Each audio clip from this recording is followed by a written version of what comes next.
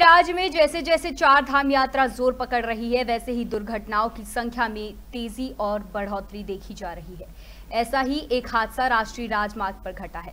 बता दें कि तेलंगाना से चार धाम यात्रा कर वापस अपने गृह राज्य एक यात्रियों से भरी बस जा रही थी और उसी दौरान बद्रीनाथ, ऋषिकेश नेशनल हाईवे पर अचानक कौड़ियाला के समीप यात्रियों से भरी हुई बस के ब्रेक फेल हो गए, जिसके चलते पूरी बस में चीख पुकार मच गई। जैसे जैसे तेज वाहन चालक ने किसी तरह बस पर काबू पाया, लेकिन तब भी बस बीच सड़क पर पलट गई। बस में सवार 28 यात्रियों में से 6 यात्री घायल हो गए हैं। वही घायलों को उपचार के लिए ऋषिकेश हॉस्पिटल के लिए भेज दिया गया है। श्रीनगर से मुकेश पछेती की रिपोर्ट।